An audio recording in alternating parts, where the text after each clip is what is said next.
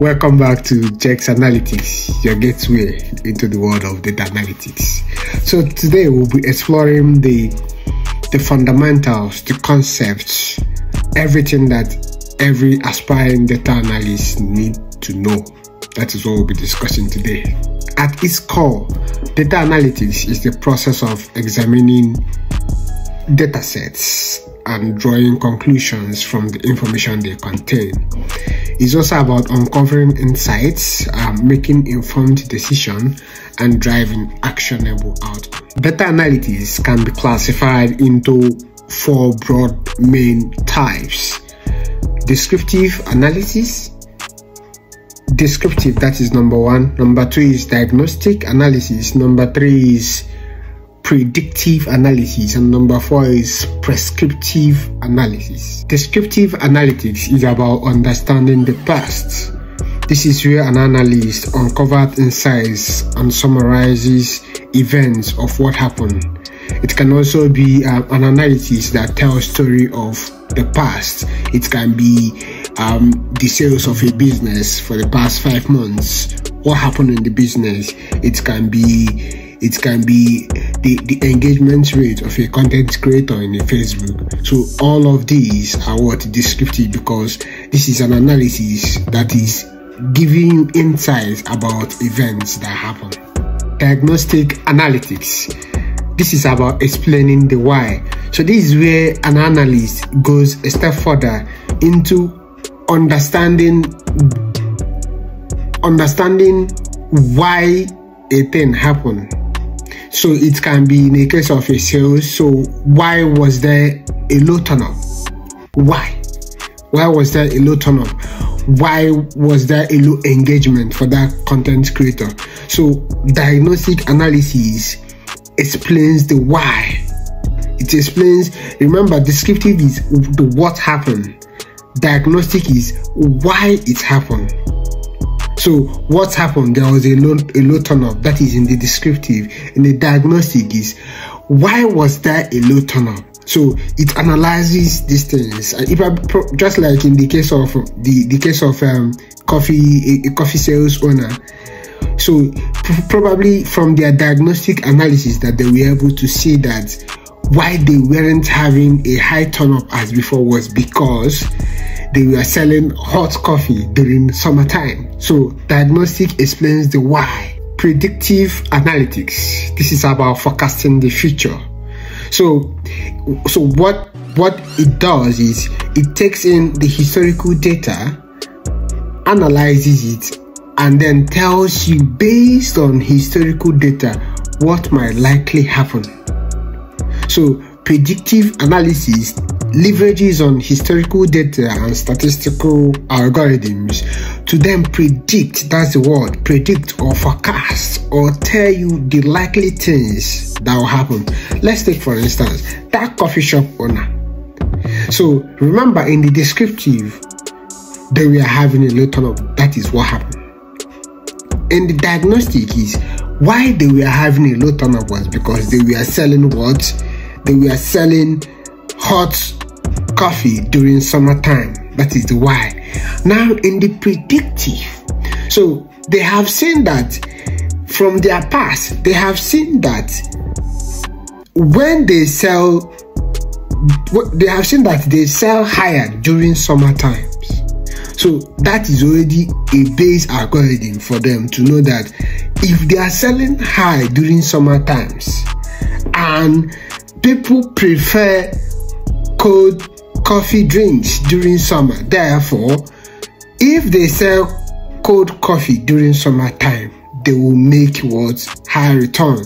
So they have perhaps forecasted or predicted based on their historical data or sales data to tell them what is likely to what to happen. This is also another um, analytics or side of analysis that data science data scientists use as we do these days machine learning today we hear of machine learning ai and stuff like that all these models they perform all these things based on historical data So they can't just predict on their own. They have to leverage on what historical data. So they take in the historical data, analyze them, apply some algorithms, which is what we call models, or in some cases statistical mm, algorithms as well. And then they can be able to predict trends. That's why today we have sales forecasts.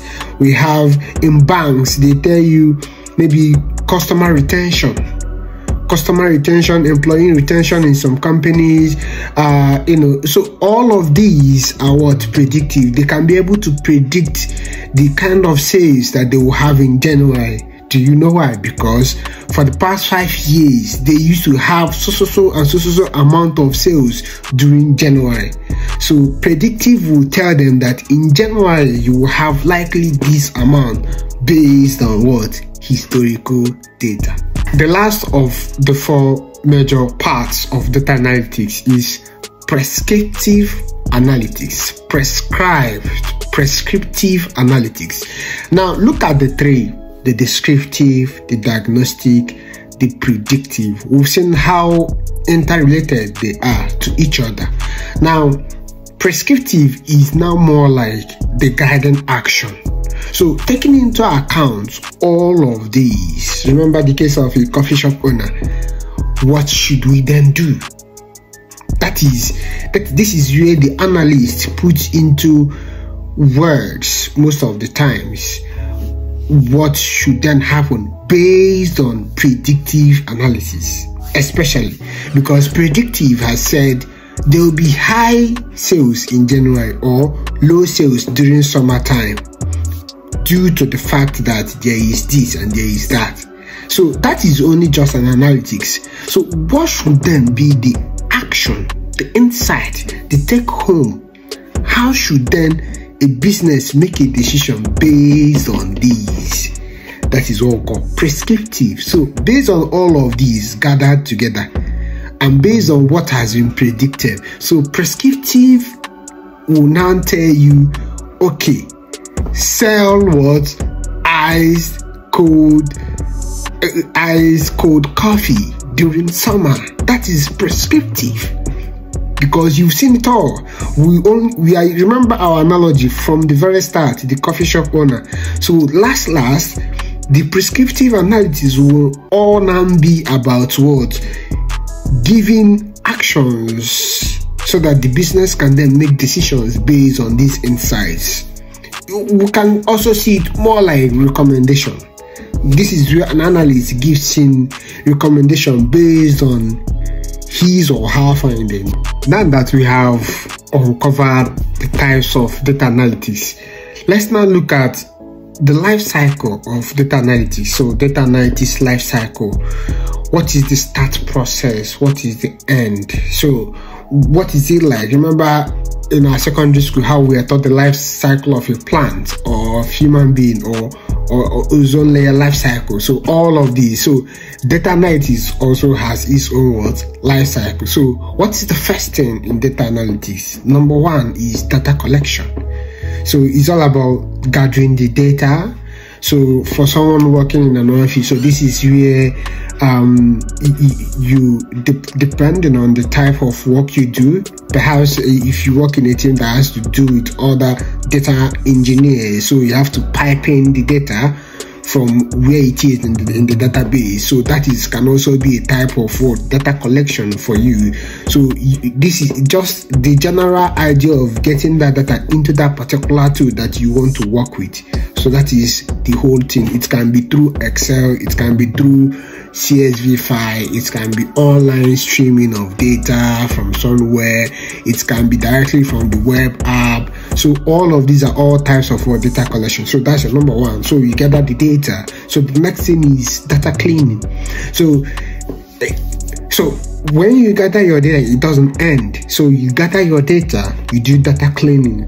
Data cleaning is to look at your data to see um, the things you need and the things you don't need, basically. So if, if for instance, you are typing dates and people are some some days are in number, while some are written in text, like some months are written in text instead of zero one for January, it is written January.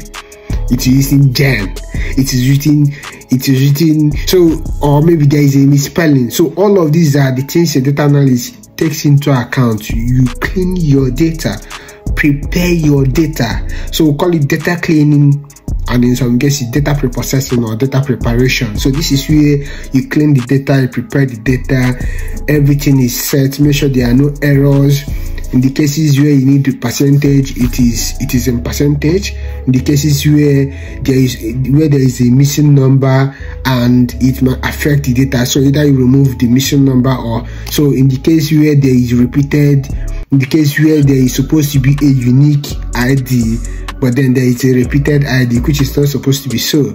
So all of these the eye of an eagle is what every data analyst will need. You should have the eye to spot out those errors based on the data you have that is number two. So we have data collection data cleaning or preparation. The next thing is now data analysis. So data analysis is just simply applying techniques in which you then analyze your data. So it, it can also involve the build of measures of in some cases like in data science you can call it feature engineering. So if for instance you you have months right?